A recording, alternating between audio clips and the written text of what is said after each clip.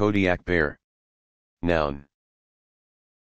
1. A large species of brown bear, Ursus arctos middendorffi, found in throughout the Rocky Mountains and the northwest of North America.